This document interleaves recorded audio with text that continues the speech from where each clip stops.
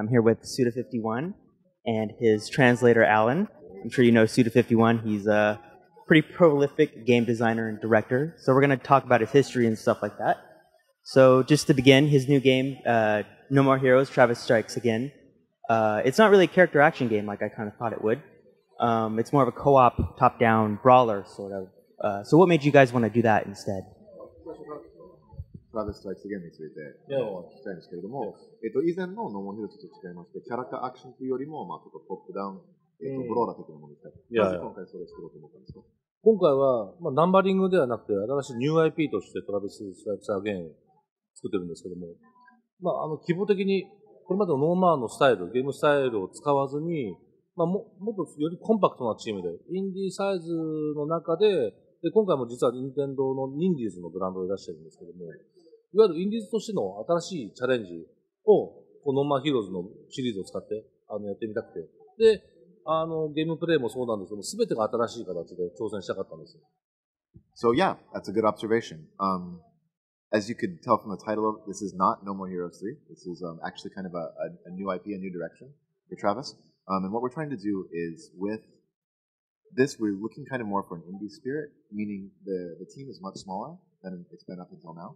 Um, and so, in order to kind of facilitate that indie skill as well as to best utilize all the members of the team, we thought this would be a better way to, uh, to realize that, which is uh, why it's going to be like, a, like you said, kind of a top-down brawler.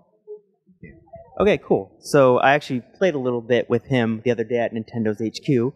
Uh, it's it had sort of a meta like PS1 level presentation over it all? Can you uh, kind of describe the inspiration to that? いやいやいやいや。あの、トラビスが今回、殺し屋同士の戦いじゃなくて、ゲーム内ゲームに入っていくんですね。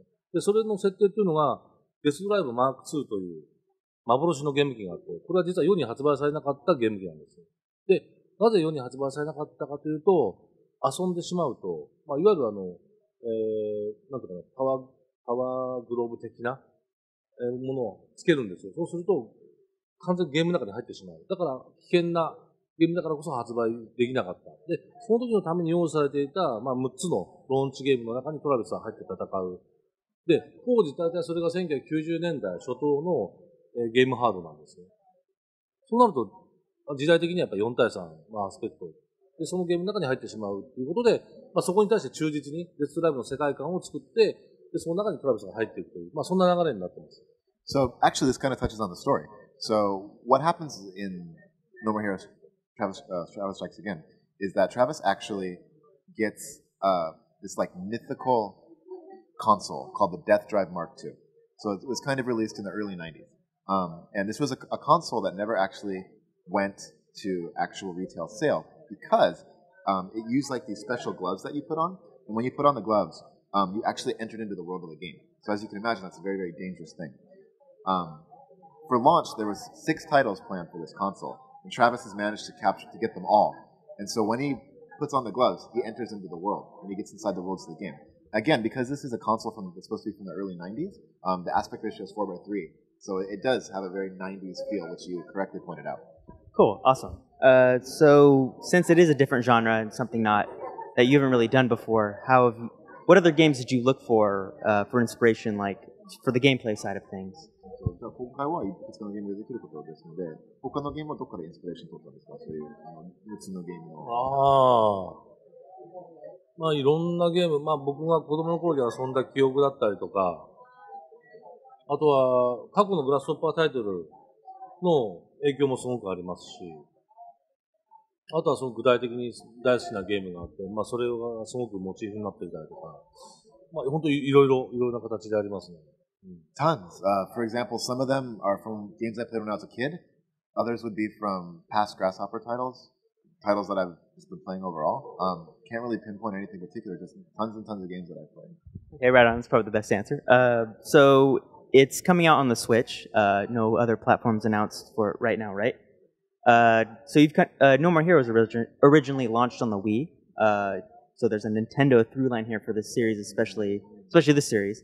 Um, why stick with Nintendo again? I mean, 今回は Nintendo Switch のみの発売となりまして、でもちろん、あの、ノーモヒーローズ1と2は Wii ですね。でこのシリーズは、 任天堂ハードシリーズみたいな形になってるかもしれないですけれども、いやいやなぜ任天堂さんにこだわるんですかこういうシリーズに関しましては。うーん、あの、 うんノーマンヒーローズと Wii がやっぱりすごく相性が良くて、まあそれはコントローラーもそうだし、あの、Wii だからこそ、まあ Wii の中ですごく成功したタイトルだというふうに僕自身もかあの感じていて、だからこそこのシリーズを復活させるには、やっぱり任天堂プラットフォームがすごく一番適していると思ってるし、あとファンのみんなからすごく要望が強いんですよね。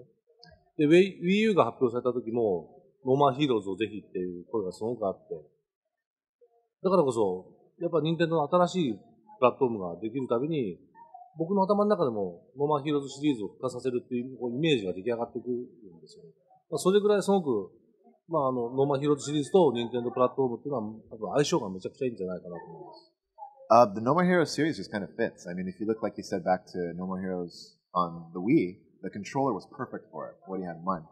Um, and so using that functionality really made for a great game. And in the same way, um, as soon as he heard like a Wii U was announced, he thought fans were like, "Oh, you should make another No More Heroes." And he said every time Nintendo makes a new hardware, he he feels like it would be good to bring back No More Heroes, and he's always wanted to put it on there. Um, another thing too is that uh, for this time, it, with it coming out on the Switch, this was the perfect opportunity because obviously they ended up skipping uh, No More Heroes uh, for the Wii U.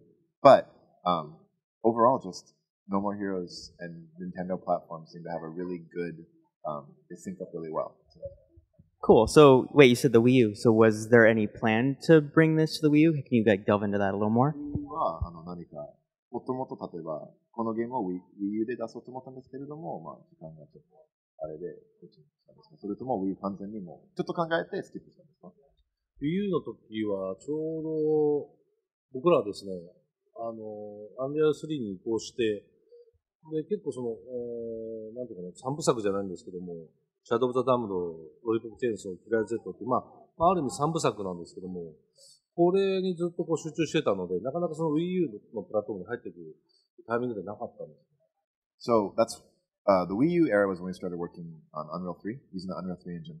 And you know, there's I guess there's like you could almost call them a trilogy of games. You got Shadows of the Damned, you got Lollipop, Lollipop Chainsaw Killer is Dead. And we were kind of focused on them, so we didn't really have an opportunity to kind of look to the, the Wii U and do anything for it. So that's probably why we didn't do anything on the Wii U.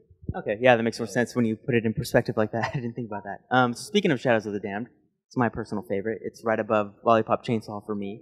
Um, yeah, I'm one of those guys. Uh, so, so I guess with the perspective of what, like it was like 2010, right? Was, or 2012 or something, right? Uh, yeah. So now that we've had a few years to kind of look back on that, uh, how do you how do you reflect on looking uh, making that title, especially with the what was it, Akira Yamaoka and um, Shinji Mikami? Like that's like a dream ke- team of Japanese developers. Um, how do you how do you look back on that title, like both good and bad? Because I don't know how well it did it or anything, and but I know it reviewed pretty well. So how do you look back on it?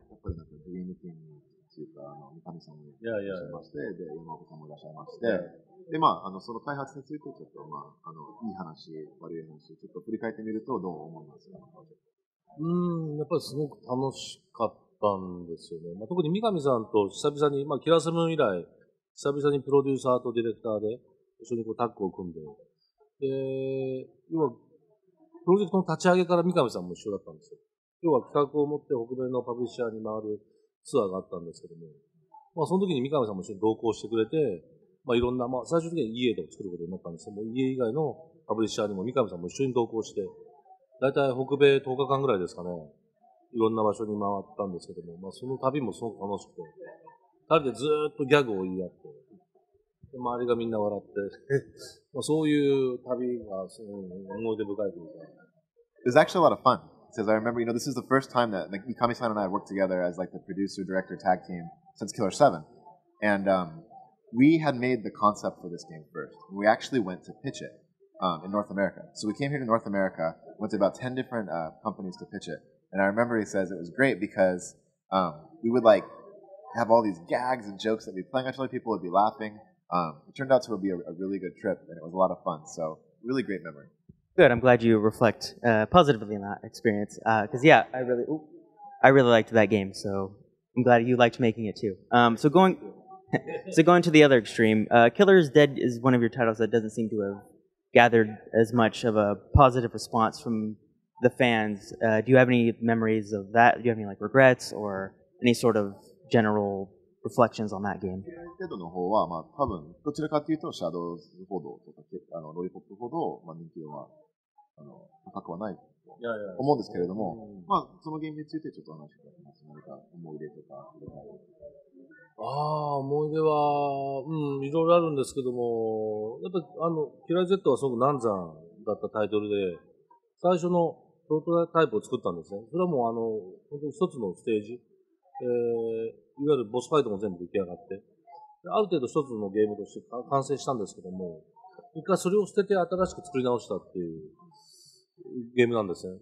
うん、なので、なんていうかな、すごく生み出すのに苦労して、ようやく完成したタイトルなので、うん。そういった意味で言うと本当に、うん、完成してよかったな、あの、シッピングできてよかったなっていうふうに思ってます。So that was a game that we um, actually ended up having a, a complete kind of working prototype of it from you know the stage to the, the bosses and everything, and we ended up having to throw that away for various reasons and kind of start over and rebuild it from scratch. Um, and so in that regard, it was a game that had a really difficult birthing process, and we went through a lot to, to get it out. Um, that said, I- I still am glad that we were able to bring it out and, and get it out there into the, the world. Cool. So even in the lower parts, it's uh, good to have that positive uh, looking back experience. It's re- good. And speaking of positivity, uh, I would, I mean, this is just my projection, but Killers 7 seems to be like the highest of your fandom. Got pretty some, pretty some rabid fans for that game around there. Um, so it's come, the remaster's coming to Steam. Uh, so I'm going to split into two questions here.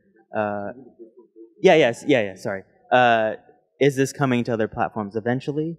でキラーセブンは、もしかして、あの、鈴さんのあのタイトルの中で一番もう、ファンがもう本当にハードコアで大好きな、あ の、愛されてるタイトルですね。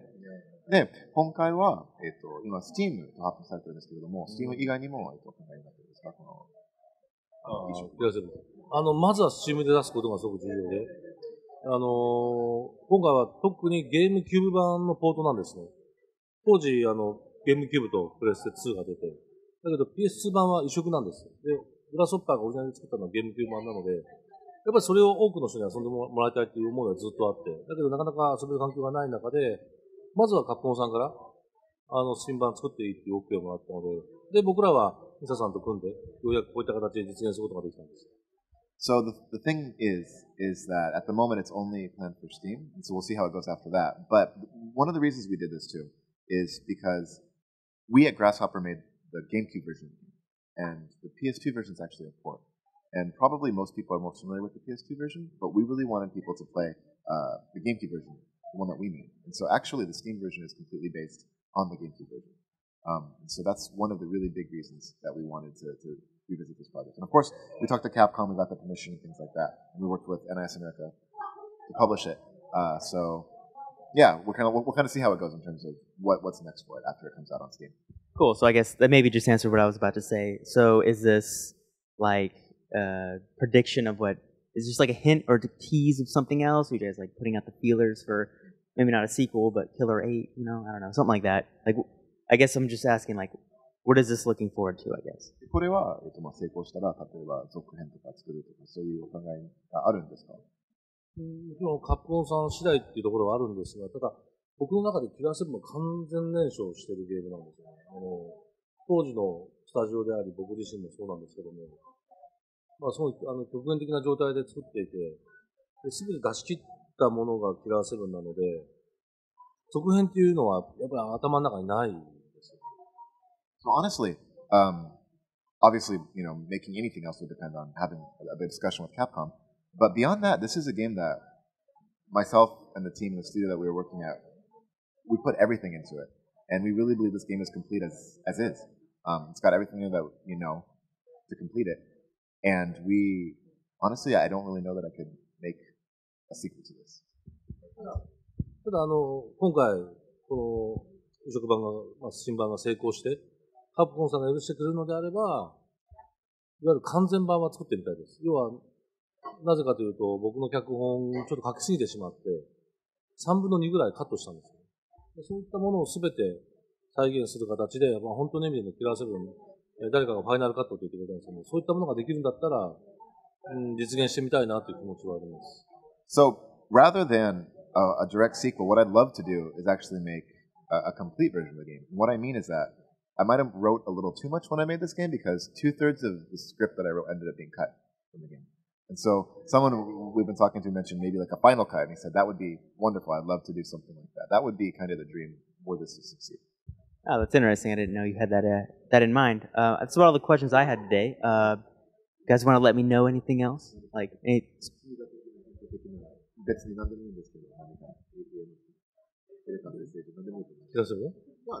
It doesn't have to be specific. Just whatever. まあ、まずはね、これが、まあ、キラーセブンがあって、トラビス・ストライクス・アゲンあるんで、まあ、この T Oh, it's cool. Um, so as you know, Killer Seven's coming, and then after that, uh, Travis Strikes Again is also coming. And in terms of hints, um, I don't know if you guys can see, but the T-shirt that we're both wearing here actually might be a hint for something in the future. Who knows?